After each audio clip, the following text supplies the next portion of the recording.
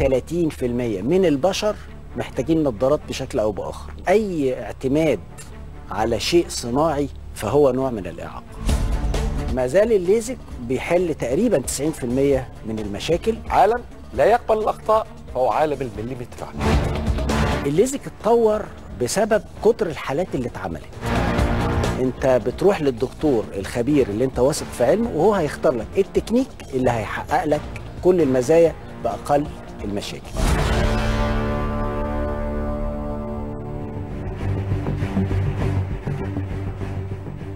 الأستاذ الدكتور محمد حامد أستاذ جراحات العيون بكلية الطب زميل كلية الجراحين الملكية إنجلترا مراكز الدكتور محمد حامد للعيون.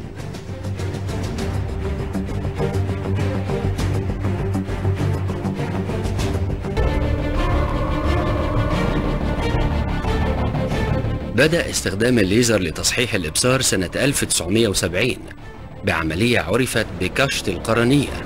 هي عبارة عن عملية تم من خلالها إحداث قطع أو ثقب في أكثر منطقة أو جزء في طبقة القرنية لإحداث تغيير في شكل القرنية ليصبح أكثر انتظاما. سنة 1980 تم اعتماد تقنية الليزر واستعماله بشكل دقيق ومحسوب في تصحيح مشاكل وعيوب الإبصار زي طول النظر وقصر النظر والاستجماتيزم. في تمانينيات القرن الماضي تمت الموافقة عليها كتقنية معتمدة لتصحيح عيوب الإبصار من قبل إدارة الغذاء والدواء الأمريكية. وخلال السنين اللي فاتت تطورت تقنيات استخدام الليزر لتصحيح الإبصار بشكل كبير وبقت تحل مشكلات وتحقق نتائج في أوقات قياسية. كانت في الماضي حلم بعيد المنال.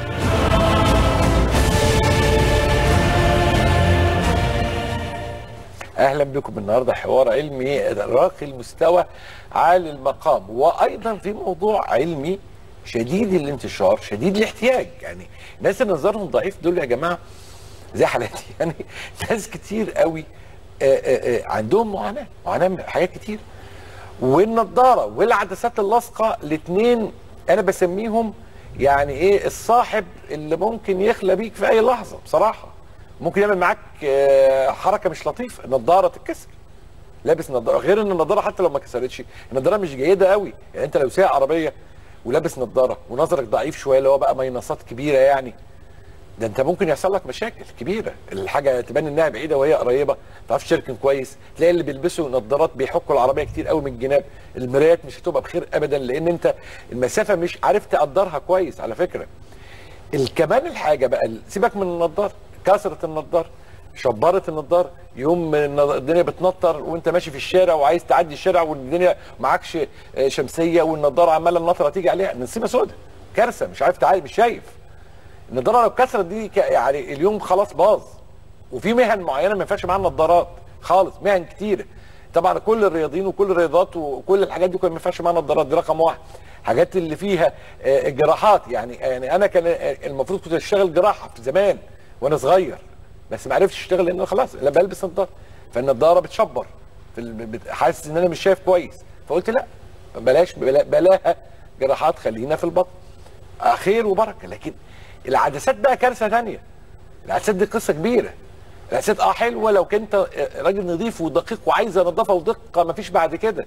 وحتى ده برضو المسألة ما, ما, ما تسلمش. لكن ما بالك بقى باللي إحنا بنشوفه. بنت بتلبس العدسة وهي جوه العربية. بتلبس العدسه وهي بتكلم صاحبتها. تحط العدسه في محلول آه، بقاله 5000 سنة في العربية.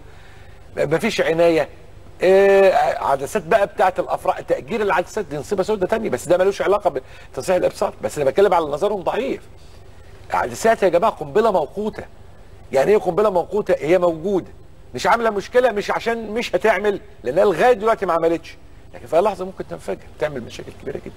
عشان كده أصبح تصحيح الإبصار تصحيح النظر أولوية شيء مهم لأن الحاجات المعينات الأخرى المعينات البصرية الأخرى زي نظارة العدسات اللاصقه دورهم بيقل ومع التطلبات والاحتياجات بتاعت الزمن دلوقتي بقى يقل كتير وفي جونا يقل أكتر وفي إهمالنا يقل جدا جدا. النهارده قضية مهمة تصحيح الإبصار كله العلمي وما يقال له أسامي تجارية. النهارده قضية فاتحينها مع ضيفي العزيز القيمه العلميه الكبيره واسم كبير في عالم العيون. حقيقة عبقرية رائعة أداء علمي متميز للغاية والجميل في ده كله الاجتهاد الذي آه، نلمسه منذ زمن طويل وأنا أعرفه منذ زمن طويل جدا والمستمر والذي ينبغي أن نفهم إنه أكيد لن يتوقف. القمة العلمية المتميزة الأستاذ دكتور محمد حامد أستاذ طب وجراحات العيون زميل كلية الجراحين الملكية وطبعا مؤسس لمراكز. الدكتور محمد حامد أهلا بيك يا دكتور محمد. أهلا منورني في الناس الحلوه أهلا بيك. مش عارف حاسس إن أنا قلت كلام عجبك. آه، المقدمة مهمة جدا. المقدمة مهمة لأن أنا أصلا ليا هاشتاج على النت اسمه لا للنضارة أنا عدو يعني- النضارة يعني, يعني أنا جبت آه فعلا. أنا أنا معاك في ال- في والموضوع أنا ليا فيه فلسفة يعني. هو لا للنضاره مش عشان حاجة. هي الناس معجبة بالنضاره و... و... which is good. يعني مفيش مشكلة. نشوف بالنضاره كويس. بس الموضوع فلسفته إيه؟ فلسفته ان إن أنا شايف إن ال... الاحتياج للنضاره نوع من الإعاقة. كنت عايز أقول بمعنى إيه الإعاقة؟ بمعنى آه، آه، إن أنت أي اعتماد على شيء صناعي فهو نوع من الإعاقة. أنت معت- معتمد على العكاز عشان تمشي عليه زي معتمد على النضارة عشان تمشي بيها. لو العكاز مش معاك مش هتعرف تمشي فأنت عندك قدر من العجز وقدر من الإعاقة. ولو النضارة زي ما أنت قلت كده اتكسرت مش لاقيها قمت من النوم بتدور عليها جنبك ما لقيتهاش أنت مش هتعرف تعمل حاجة. يعني مش هتعرف تتحرك أصلا. فمن هنا جت الفكرة أصلا بتاعت التصحيح وابتدت الفكرة تبقى بوبيولار أكتر أو يعني شعبية. تنتشر بالظبط وليها مبرر ان ال- الناس ابتدت وعيها يبقى في اتجاه عدم الاعتماد على شيء صناعي. كل ما يبقى الشيء natural أو أنا depending on myself من غير ما أبقى محتاج آه، حاجة صناعية أعتمد عليها زي ما قلنا كده عكاز زي ما حاجة آه، وده يكون أحسن كتير. ومن هنا جت فكرة تصحيح الإبصار وتطورت بقى عبر سنين كتير إحنا بنتكلم في عشرات السنين وزي ما أنتم يمكن عرضتوا في التقرير الأولاني إن الفكرة نفسها قديمة. وتطورت بالتدريج وال technology خدمها. ان ابتدى يبقى فيه آه، آه، نوع من ال investment في ال technology بحيث انها بتقطع بتخ- بتخدم قطاع كبير جدا من الناس. إحنا تقريبا بنقول إن في 30% من البشر محتاجين نظارات بشكل أو بآخر. فاحنا بنتكلم على ملايين من الناس. كل دول candidates أو كل دول المفروض إن هم متطلعين إن هم في وقت من الأوقات يستغنوا عن النضاره وبالتالي التكنولوجي كل شوية بتتطور في في المجال ده. وعبر السنين وصلنا للي إحنا فيه النهارده. من الإبهار وال- وال- والتقدم في التكنولوجي بغرض إن إحنا نستغنى عن النضارات أول صفحة في أي كتاب الفهرس ولذلك هبدأ بطرق تصحيح الابصار اللي هي تعتبر فهرس مقدمة كده يوريني إزاي بدخل على عيوب الانكسار. هي عيوب الإبصار باختصار اللي هم اللي إحنا عارفينهم الثلاثه المشهورين طول النظر وقصر النظر والاستجماتيزم. آه، آه، الليزك هو أهم طريقة وأسهل طريقة وأسرع طريقة وأرخص طريقة آه، لتصحيح العيوب الإبصار المتنوعة آه، سواء الطول أو القصر أو الأستجماتيزم.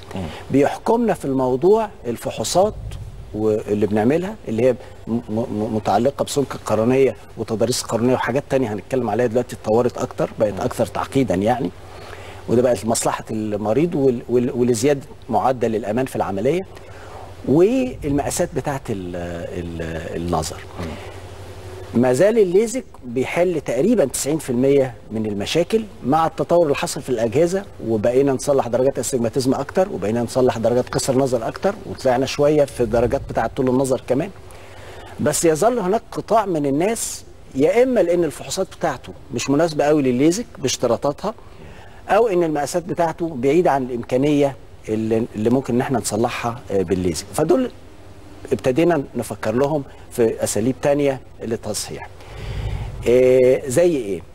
إيه في طريقة زمان قوي كنا بنعملها وقلت قوي وبنعملها الناس آه، قليلة دلوقتي اللي هو إحنا بنسميه الليزر السطحي اللي هي الناس اللي مقاساتها قليلة بس سمك القرنيه فيها محدود شوية مش أمان قوي إن إحنا نعمل الليزك ما زال الليزك محتاج شوية سمك قرنية أحسن وده بنعمل لهم ليزر سطحي. استخدامه قليل بس ما زال له مكان في الموضوع.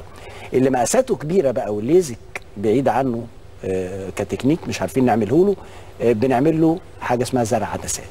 زرع العدسات نوعين دايما أقول يا إما زرع عدسة فوق العدسة يعني عدسة الطبيعية بتاعت ربنا بسيبها زي ما هي واحط عدسة فوقها. وده بينفع في بعض الحالات في قطاع عمري أو في قطاع سن معين. القطاع الثاني من الناس اللي بنختار له آه، استبدال العدسة اللي هي العدسة بتاعت ربنا الطبيعية اللي زي آه، السليمة. بنشيلها ونحط عدسة مكانها. اللي هي زي عملية المية البيضاء تقريبا فنيا يعني. ومن خلال العدسة اللي إحنا بنزرعها بنتحكم في التصحيح اللي إحنا عايزين نعمله وكل معطياته إذا كان طول نظر أو قصر نظر أو في أستجماتيزم آه، مصاحب. دي التقسيمة العامة وإحنا اللي بنختار الحقيقة وده مبني على زي ما قلنا الفحوصات والمقاسات بتاعت المريض النهارده غالبا هنركز في الليزك غالبا. يعني لو في وقت هناخد حاجات تانية لكن الليزك بدأ إزاي تطور إزاي؟ ال- الليزك بدأت فكرته بإن إحنا آه، آه، آه، نعمل ال- الليزر بس مش على السطح بتاع القرنية. ومن هنا جت فكرة إن إحنا ناخد طبقة سطحية من القرنية زي ما ال- التقرير يمكن عرض آه، آه، ناخد الطبقة السطحية من القرنيه ونعمل الليزر وبعدين نغطيها بالطبقة اللي إحنا خدناها ونرجع الطبقة ديت في مكانها بالظبط آه، بحيث انها تغطي المكان اللي إحنا عملنا فيه ال- الليزر. ده التكنيك اللي اسمه الليزك الليزك اتطور على مدار السنين بسبب إيه؟ بسبب كتر الحالات اللي اتعملت. يعني دايما إحنا نقول إن ال- التطوير وبالذات التطوير في ال software بتاع أجهزة ال- ال- الليزك بيحصل من من كتر ما الحالات اتعملت. ال feedback أو ال- ال- المردود اللي إحنا بناخده بنطور بيه ال software أو بنطور بيه البرنامج بتاع ال- الجهاز الليزك بحيث إنه كل مادة يبقى أكثر دقة. التطوير الهدف منه إيه؟ الهدف منه إن إحنا الليزر اللي إحنا بنعمله للتصحيح يطلع بالظبط زي مقاسات المريض ما إحنا عايزينها تتصلح.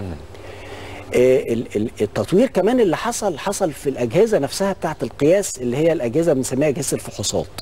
ودي كان الغرض منها إن إحنا كل مادة نقدر نسلكت أكتر أو نختار أكتر الحالات اللي يدي فيها نتائج ممتازة جدا بدون أي تأثير جانبي أو ضعف يحصل في القرنية على مدى الوقت اللي بعد كده.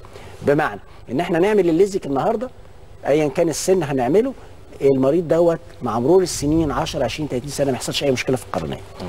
وده عن طريق الوقت ابتدينا نعمل التطوير اللي حصل في أجهزة ال- الفحوصات وكمان في نفس التوقيت التطوير يحصل في ال software اللي هو بيعمل الليزك ابتدى دلوقتي يبقى خلاص تقريبا state of the art بقى حاجة في غاية الدقة. لدرجة إن إحنا ابتدينا نعمل حاجة نوع بقى من الليزك دلوقتي هنتكلم عنه أكثر دقة بكتير اسمه آه، الليزك تفصيلي الليزك التفصيلي المقصود بيه إيه؟ اللي هو ال customized LASIK يعني. ان, إحنا نعمل آه، ال- ال- ال- ال- ال- الليزر اللي إحنا هن هن هن هن هنعمله للعين مقاساته مطابقة للفحوصات بتاعه هذا المريض تحديدا. وده كان زمان بيحصل جزء منه بس إن إحنا بندخل الفحوصات بتاعت القرنية بندخل ال- المقاسات بتاعتها إن كان سمك قرنية أو التضاريس بتاعتها التحدب بتاعها ومقاسات المريض. الموضوع آه، ازداد بقى آه، آه، تحسين أو از- ازداد refinement يعني تطوير أو دقة أكتر. بقينا ندخل حاجات أكتر parameters أكتر قياسات أكتر في القرنيه النهارده بقى حصل نقلة جديدة خالص أو نقلة احدث في الليزك اللي- الليزك كثير التفاصيل. بقينا نعمل تصوير للقرنية كتير جدا والتصوير ده كله data كله معلومات تفصيلية عن كل نقطة تقريبا في القرنية. وعدد النقط اللي في ال- اللي في القرنية اللي بناخد لها في آه، ال- القياسات دي آه، كذا ألف نقطة. وبالتالي سطح القرنية كله بيبقى متصور بالنقطة. وكل نقطة متحدد فيها. النقطة دي فيها سمك قرنية كام بالظبط؟ والتضاريس بتاعتها كام بالظبط؟ وحاجات متعلقة بالنني فين بالظبط مكانه من نص القرنية وحاجات تفاصيل كتير جدا.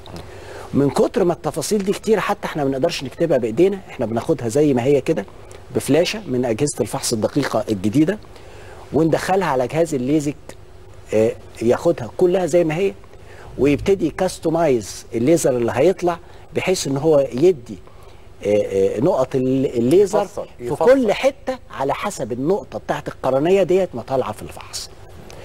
وده بيدي كذا ميزة. اولا هيطلع آه، ليزر في غاية الدقة مرسوم لكل نقطة في القرنية على حدة يساوي سطح القرنية تماما. لو فيها أي آه، آه، حتة معرجة أو السطح بتاعها مش منتظم وكمان يصلح المقاس بتاع المريض في غاية الدقة. الكلام ده بقى يدينا اولا حدة إبصار بعد ال- ال- ال- الليزك في غاية الدقة. وحتى طلعوا له اسم يعني عشان الموضوع يبقى برضه له اسم علمي يعني سموه كونتورا فيجن. كونتورا معناه نظر الصقر. آه، حدة إبصار في غاية القوة. آه، آه، ابتدينا ننسى أو ابتدت تقل كتير مشاكل كنا متعودين نشوفها زمان بالذات في الليزك القديم وناس كتير من اللي عملت ليزك زمان عارفة ال night vision problems اللي هي المشاكل بتاعة الرؤية الليلية والغلوشة اللي بتحصل بالليل والنقط النور اللي بتطلع حوالين عمدان النور إلى آخره. الكلام ده قل كتير جدا مع التكنيك ده لأن هو بيدي آه، ليزك متدرج من ال- ال- المنتصف القرنية لحد أطراف القرنية بمعدلات معينة فقلت كتير جدا الظاهرة دي. غير كده الناس اللي سمك اللي الناس اللي تضاريس القرنية بتاعتهم مش متساوية بشكل كويس قوي بيصلح لها كل التعريجات ديت فبيخلي سطح القرنية أملس آه، بشكل آه، كويس قوي بيصلح لهم مشاكل كتير كانت موجودة. وما كانش الليزك القديم بيصلحها بغاية الدقة هو كان الليزك القديم بينزل الليزر المظبوط على قد المقاس زي ما هو في كل أجزاء القرنية بنفس المستوى. النهارده لا ال- الليزك الجديد أو الليزر الجديد بينزل في كل نقطة على مقاس تضاريسها اللي طالع في الفحص نقطة نقطة في كل نقطة من نقط القرنيه لوحدها. وده تكنولوجي آه، جديد يمكن هو آه، شوية بياخد مننا وقت لأن إحنا زي ما أقول لك إحنا بنحتاج نعمل آه، فحوصات أكتر شوية للقرنية قبل ما نعمل وال وال والجهاز نفسه طبعا مش كل الأجهزة قوي متاح فيها الإمكانية دي آه، اللي عايزين نقوله بس إن هو نفس التكنيك بتاع الليزك نفس العملية بالظبط لكن مع آه، تطوير حصل في ال software بيدي إمكانية إن الليزر اللي ينزل يبقى آه، في غاية الدقة. الاسم الكبير النجم آه، عالم العيون الاستاذ الدكتور محمد حمد أستاذ جراحات العيون بكلية الطب وزميل كلية الجراحين الملكية بإنجلترا والمؤسس لمراكز الدكتور محمد حامد للعيون كان ضيفي في واحدة من أهم حلقاتنا على الإطلاق وأكثرها دقة لأنها تفصيلية قوي وصراحة وكشفت الكثير من المستور في عالم المنظور فيه مهم جدا. منظور يعني آه، أشوف كويس وكمان يكون شايف بطريقة علمية أو بمعنى صح بدقق الأمور بطريقة علمية. المنظور العلمي مهم هنا. في العيون عالم لا يقبل الأخطاء فهو عالم المليمترات. خليكم دايما مع مسرح أكتر شيء واخطر شيء يتعرض له الإنسان. هو دوران العمود الفقري في حركة دائرية مفاجأة مع حمل وزن تقيل في نفس الوقت. الجراح الشاطر بيقدر يعمل العملية بتاعته بتطويع كل هذه الأساليب. المنظار ممكن أستخدمه خطوة واحدة في العملية. ممكن أستخدم الميكروسكوب في خطوتين ثلاثة ممكن أدمج الاثنين مع بعض. أكبر عمليات تثبيت للفقرات فيها تعقيد وتداخلات معقدة جدا هي تثبيت الفقرات العنقية ودي انجح طريقة للتثبيت هنا في الفقرات العنقية باستخدام الجراحة الملاحية.